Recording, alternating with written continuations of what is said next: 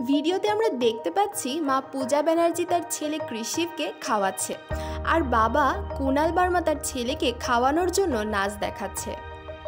ছেলে যেন এ যুগের বাচ্চাদের মতো টিভি, ইন্টারনেট, সোশ্যাল মিডিয়াতে আকৃষ্ট না হয়ে পড়ে, সেজন্যই এই পদ্ধতিটি অবলম্বন করেছে কৃষিবের বাবা মা। কৃষিব তার মায়ের কোলে শুয়ে বাবার নাচ বেশ ভালোই উপভোগ করছিল। কিছুদিন আগেই পূজা ব্যানার্জি তার ইনস্টাগ্রামে এই পোস্টটি শেয়ার করেছেন আর সেখানে লিখেছেন, আপনারা যতটা পারেন আপনার সন্তানদেরকে সময় দিন, তাদের সাথে সময় কাটান।